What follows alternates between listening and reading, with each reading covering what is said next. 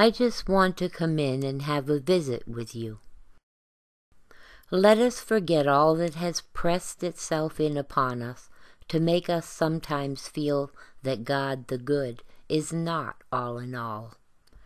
Here in the silence we shall know the presence of God and see clearly just how we are to go about living the life that He is giving us, so we may bring forth the order, beauty, and freedom that He has planned and that are now awaiting our understanding use. But let us not go too far into the metaphysics of this wonderful thing. Instead, we are here together just to rest quietly and happily in reality. As we do this, a real transformation will be worked in us and for us.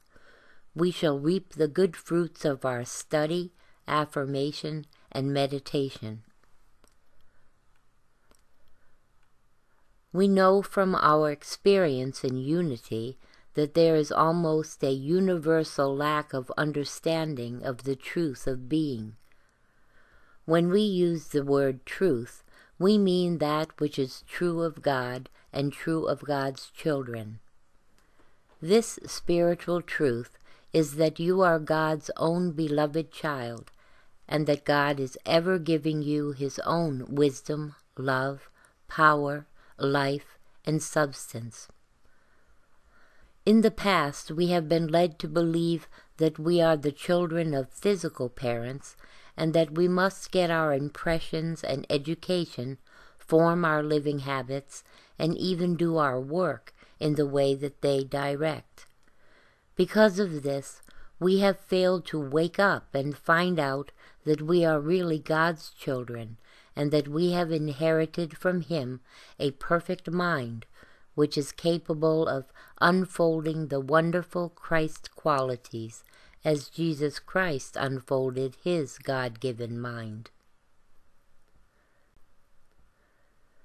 As we become aware of the truth that we are God's children and that God is the very intelligence within us, we discover that health also is our inheritance from the Father. We learn too that there is divine law in life with established rules that make for health, happiness, and prosperity if we live by them. As we learn that we are God's children living here to find out His plan for us, we become more and more interested in studying spiritual things for ourselves. We are no longer willing to accept the opinions of others, nor to live as they live, especially if their ways bring sickness and sorrow. We begin to feel rightly that there must be a way of living that will keep us well and happy. The real purpose of your life is to express the creation of God to unfold the many departments of your mind which God has planned for you and which will enable you to know and to do His will. When you know that there is nothing for you to worry about or to fear, you may then relax and feel happy. The soul must be awakened, brought to a realization of truth, and encouraged in the righteous use of all the God given faculties and powers. The individual must be helped to unify his spirit, soul, and body in harmonious spiritual living here and now. God, my Father and your Father, has made me to know that no matter what I have done or what others have done to me, he has implanted within me the pattern of perfection. He has given me the life, power, intelligence, and substance out of which I may recreate my soul qualities and my physical structures, and so come forth a new creature. You too, by studying and proving this truth, can do the same. Now, because of God's great understanding love, which Jesus Christ has helped us to comprehend and realize, we are beginning to catch glimpses of what the Father is and what He has for us and what we are in truth.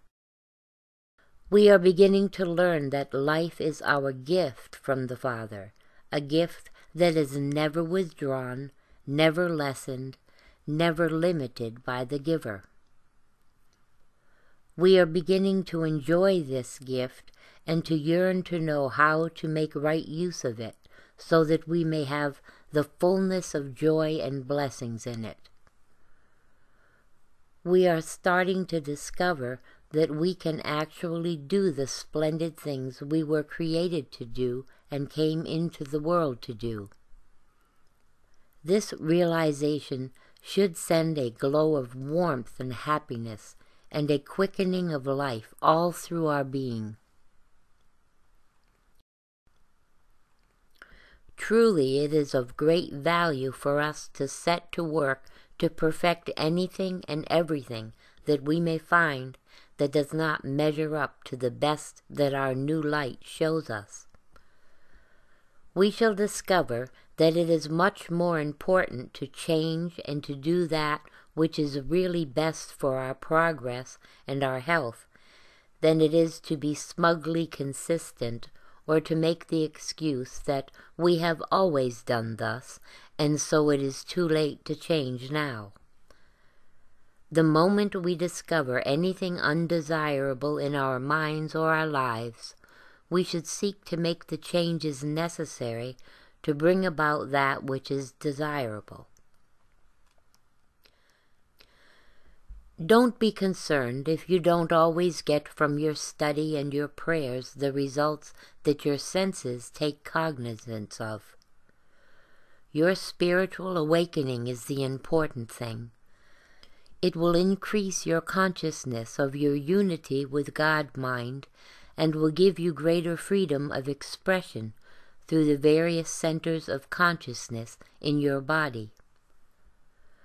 Your spiritual study will call these disciples or centers of yours into finer embodiment so that they will be alert and responsive.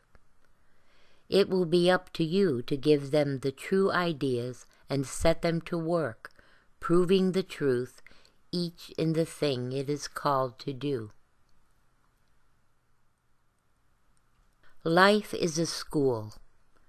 The great schoolmaster knows just what problems we need to keep us alert and to bring out the wonderful qualities that the Father has measured out for us to come up to.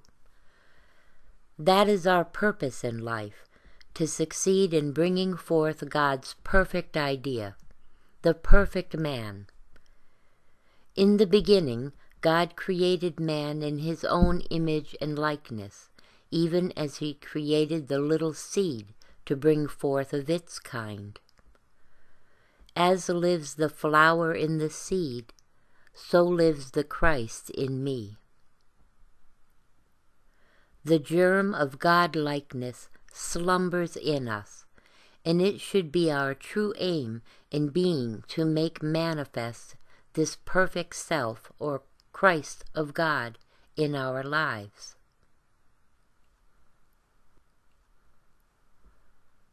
All of us, sooner or later, come to the place in our development where we are no longer satisfied to go on living the old life without the knowledge of our oneness with God, the source of our being. Sometimes, when we reach this point in our soul's progress, we do not at first know just what is taking place. We may become restless and dissatisfied, we may go through experiences which we do not understand. We may even be tempted to think that our good has gone from us. But just as surely as there is God, the one presence and one power, we shall find that all is well, and that we are but going from one room, as it were, into another larger and lighter room.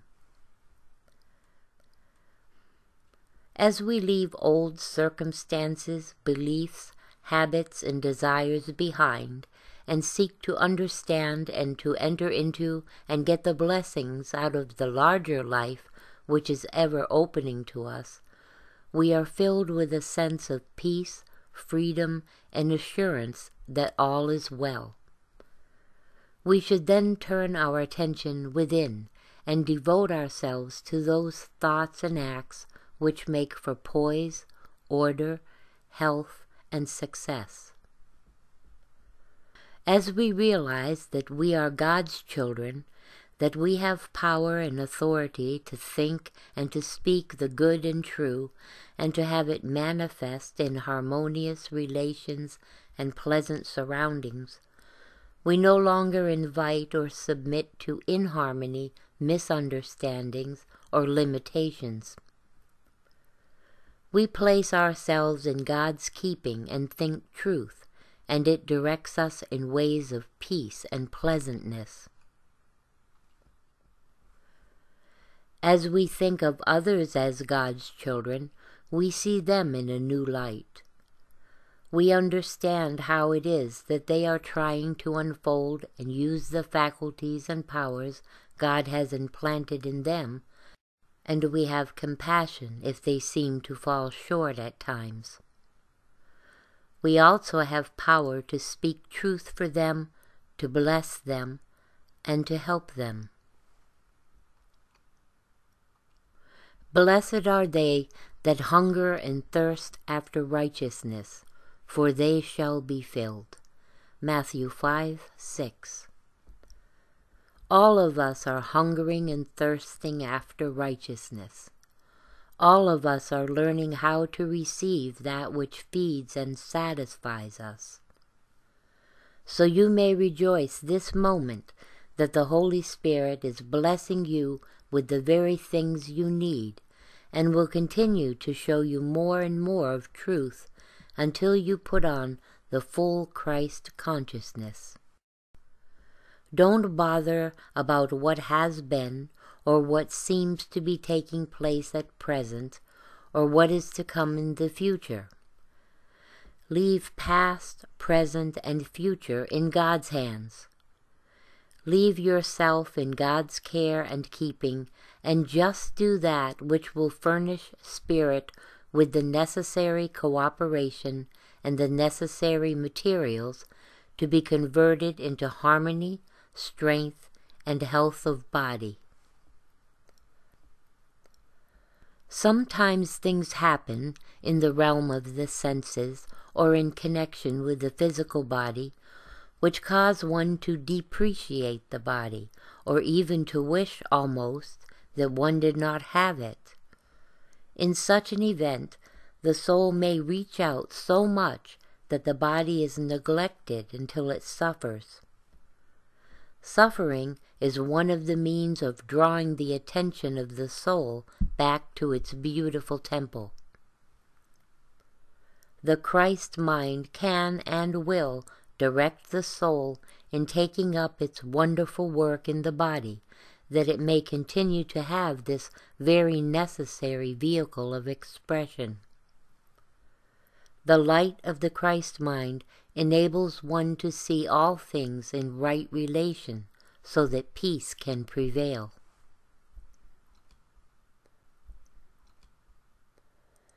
We have learned that the very presence, life, and intelligence of God are ever abiding in man's being. The Spirit of God is what gives you intelligence and life. Spirit has developed for you the mental life which we call the soul. The soul has built the body and ever continues to renew and rebuild it day by day. Spirit has no age. It is eternal, as God is eternal and unchanging. The soul is not old in the sense of being full of years and decrepitude. The soul is ever unfolding God's ideas, and these are unchangeable. The development of soul qualities causes the individual to be more and more mature in his judgments and expressions. The soul ever keeps in touch with that which is true of God and the Son of God, and is ever refreshed and eager for life's experiences. The body, which is formed by the action of thoughts of life, love, substance, power, and intelligence in everyone, is never old. The very substance out of which the body is formed and which nourishes and sustains it is ever new and responsive to the thoughts of life which impress it. We know that the body is periodically renewed. We can renew and rebuild it and change its appearance by changing our thoughts and living habits. First of all, remember that God is omnipresent as present as the very life in which you live, move, and have your being, the very substance out of which your body is formed and nourished, the very intelligence which is within you in every nerve, brain cell, and structure of the body. God is the very love which draws together and holds in perfect harmony if you will only allow it, all the elements of your being. God is the very light which enables you to understand yourself, others, and all God's creation, so that you may always think truth, the true state of all creation. Pray for understanding. Claim your oneness with God. Study your relationship with Him so that you may know how to lay hold of the abundant life, intelligence, substance, and love, so that you can build these into your soul and your body to perfect your expression. When you have come to the place where you are ready to cooperate with the source of all good, your indwelling Lord, you are bound to receive his help. From the beginning, all of the qualities and capabilities you need in order to make for yourself a perfect destiny have been implanted within you. Through your study, understanding, and practice of truth principles, you are finding how to awaken, develop, and set free into righteous expression all of these inner spiritual resources. Set aside regular periods every day for prayer, times that are most convenient for you. Use words of truth during your silence periods. As you change your thinking and bring it into line with truth principles, a transformation will take place in your consciousness. Your mind will become keen, awake, alert, illumined and your body temple will be filled with new life. You will be inspired with new and practical ideas that will enable you to succeed in a larger way. We are studying spiritual science to get a broader conception of God rather than holding to the view that he is a personal being with parts like man a being subject to change and capable of varying moods. Though personal to each one of us, God is it, neither male nor female, but principle. God is not a cold, senseless principle like that of mathematics, but the principle of life, love, and intelligence. God is all intelligence. There is but the one mind, and in reality there are no separate men and women. A full realization of this great truth would do away with all selfishness, the cause of all the misery of earth. We must understand clearly that the real life of all men is identical with our own, and that aside from the one life, all is illusion, that all seeming differences in people are caused by selfishness or desire for something separate and apart from God or our fellow men. The momentous question is, how can man come into harmony with principle? The answer is, by simply recognizing that in his real inner self man is the expression of principle and that seeming sin, sickness, and death are not real. To some this recognition comes easily, while to others it is a matter of growth, but it will come to all who persistently seek. We must learn to declare our oneness with principle, regardless of appearances. Along with our declarations of oneness with principle, we should keep ourselves purified and deny the errors with which false belief has clothed the phenomenal world.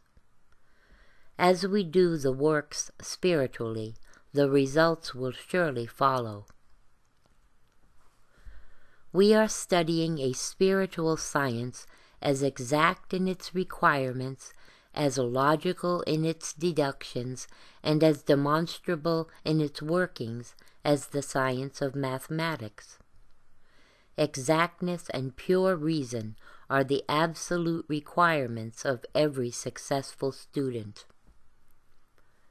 As the fundamental rules of addition, subtraction, multiplication, and division enter into and work out the abstruse problem of the advanced mathematician or the simple example of the beginner, so do the fundamental principles of spiritual science work unerringly in simple healing or in the solution of the great problems of life.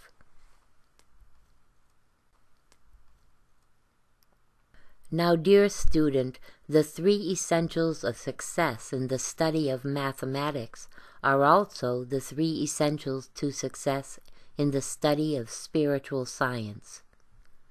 They are understanding of its fundamental principles, pure and unbiased reasoning, and the ability to prove that the principle is workable. Studying cause and principle throughout the world's history, we find records of the wise children of men who have turned from the absurdity of effect trying to deal with itself and sought for the great cause of all. In the study of it, they have found that the causing power is mind, and only through knowledge of this power shall man be able to deal successfully with those restless shadows called human life that appear upon the external canvas of eternity. Two thousand years ago, there came a manifestation of human life so conversant with the great causing power of life that he called that power Father and it was said of him, The Word became flesh. John 1:14. He was a fearless teacher of truth. He spent his ministry freeing mankind from delusions. With the sweeping proclamation, Call no man Father on the earth, for one is your Father, even he who is in heaven, Matthew 23:9, he emancipated the race from the limitation of mortal parentage. We are indebted to Jesus Christ and his fearless propagation of truth for our knowledge of this saving science. He demonstrated that sin, sickness, and death are false quantities and are no part of a correct statement of life.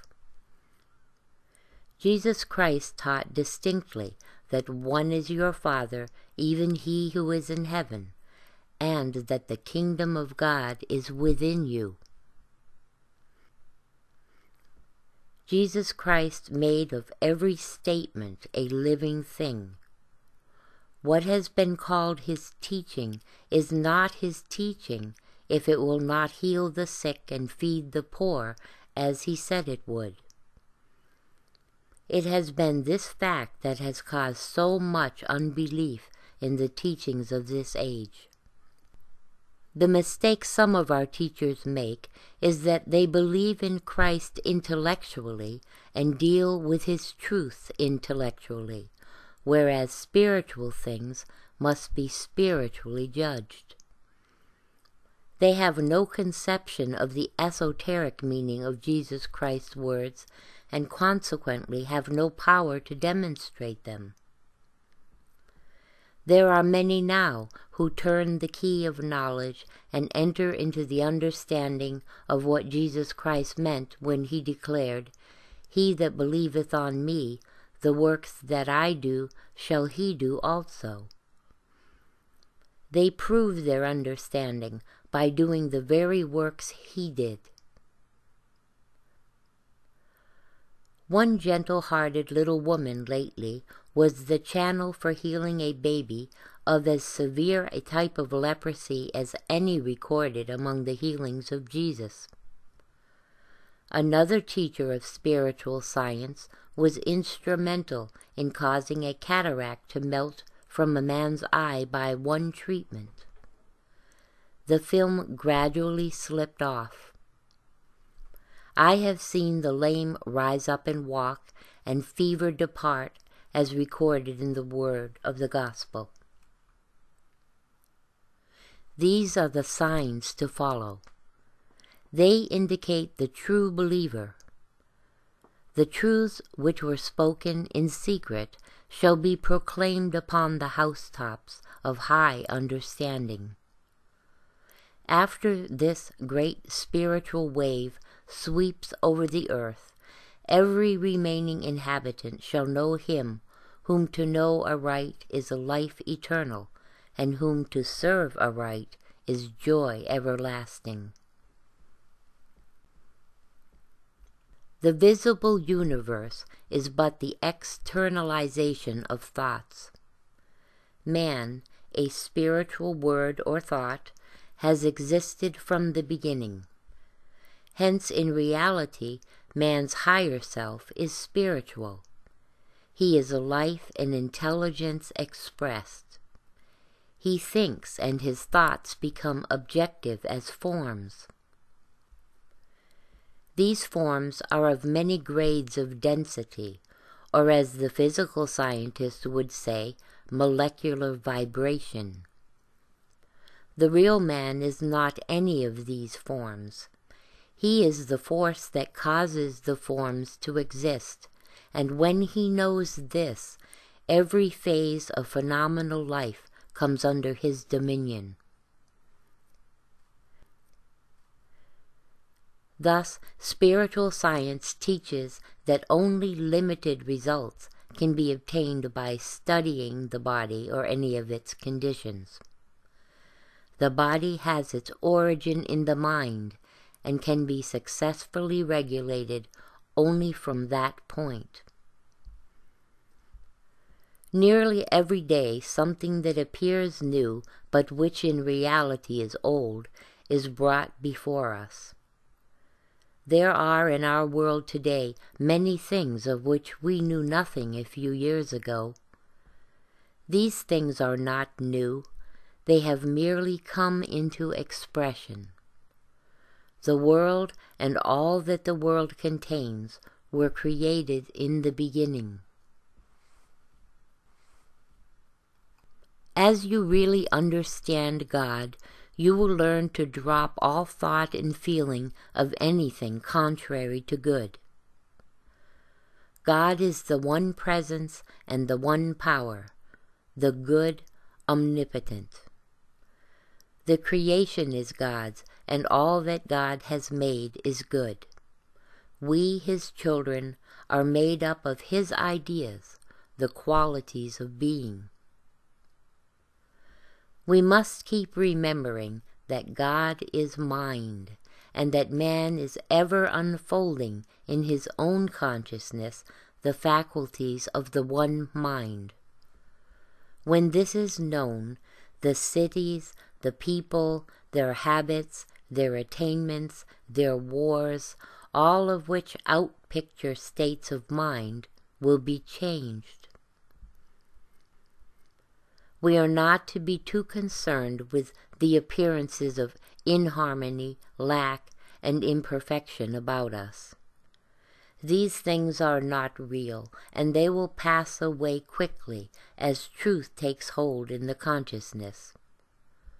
We are to remember that the light shines in the darkness, and that in the very midst of the darkness man's mind opens to the light, and for him there is no more darkness.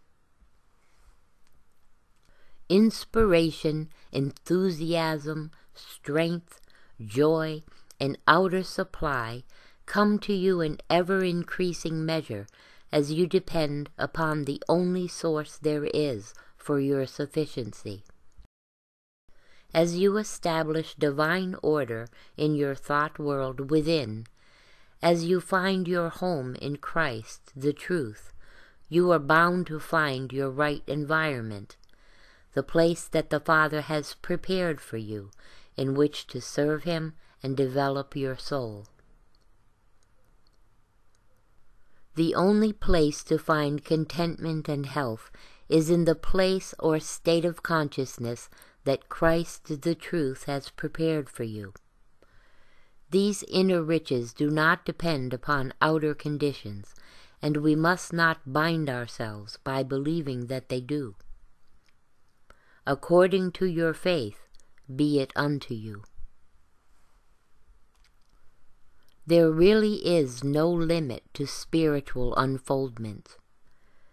The Spirit of truth within your own soul is giving you a right understanding of every experience that comes to you, and you are calling some of your inactive, unused soul powers into expression to meet the need.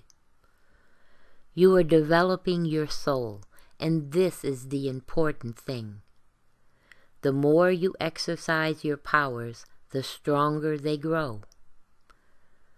So, you have the assurance and the satisfaction of knowing that your faith and all the rest of your spiritual faculties are being gradually developed until the Jesus Christ degree of unfoldment is reached. All new experiences that try your faith are just opportunities for you to make the good manifest. Best of all, these experiences are the stepping stones upon which you are progressing to more advanced things. They cause you to quicken, awaken, and bring forth into expression more of your innate capabilities that are awaiting your use you, as an individual soul, took up your expression as a living being to embody in consciousness and experience that which we think of as God's image likeness, man.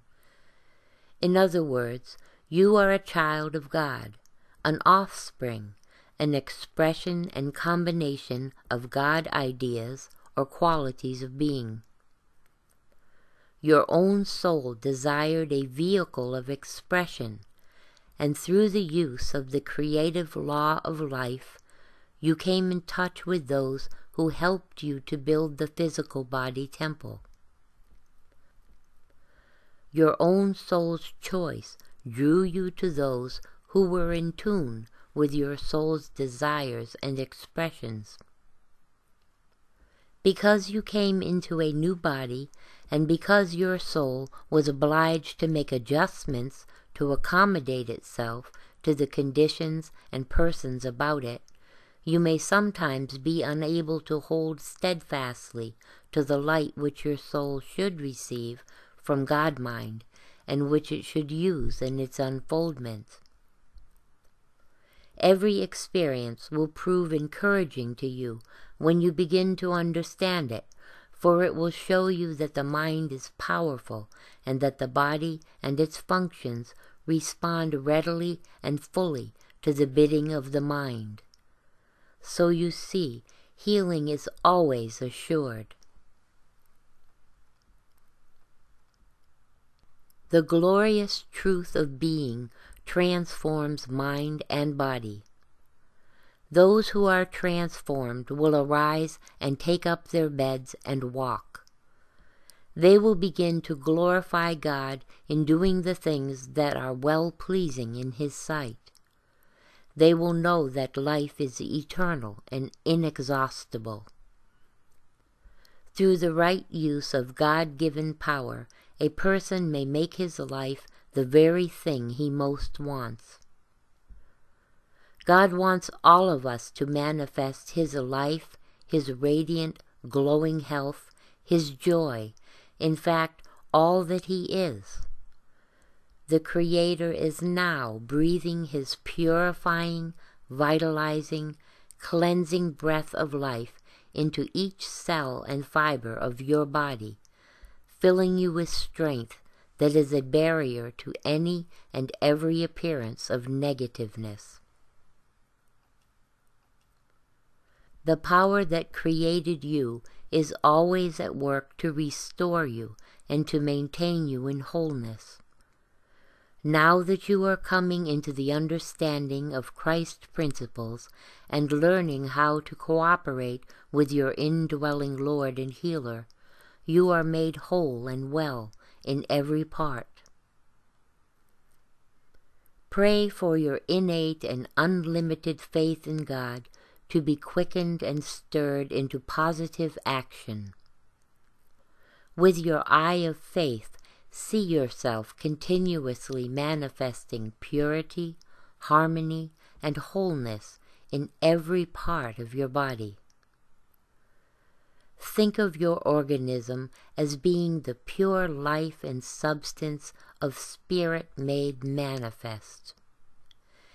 Keep your mind filled with joyous, constructive, beautiful, health-producing thoughts that maintain harmony in both mind and body.